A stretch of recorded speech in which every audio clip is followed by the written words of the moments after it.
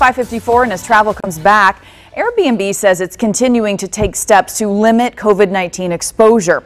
Now, one step could affect people looking to book in Indianapolis over July 4th weekend.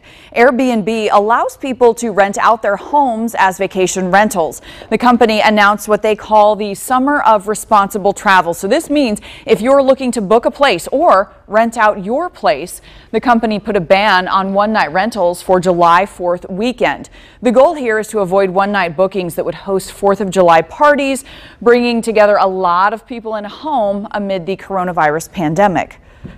One thing that is appears to be remaining consistent based on you know the public health guidance is you know people should be avoiding ma- uh, mass gatherings, um, particularly mass parties, and that's something where we're going to be continuing to be taking a really hard line on.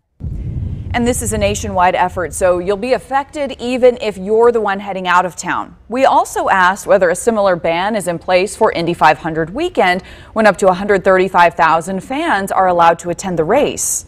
What we found in, in historically you know, in places like Indy that have this mega event once a year, the hosts kind of know what they need to do, right? They're, they do it every year. I think traditionally we've seen, um, you know, pretty good behavior in Indy over the uh, over the Indy 500 weekend.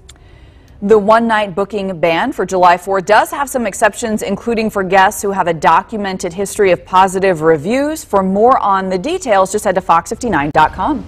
New this morning.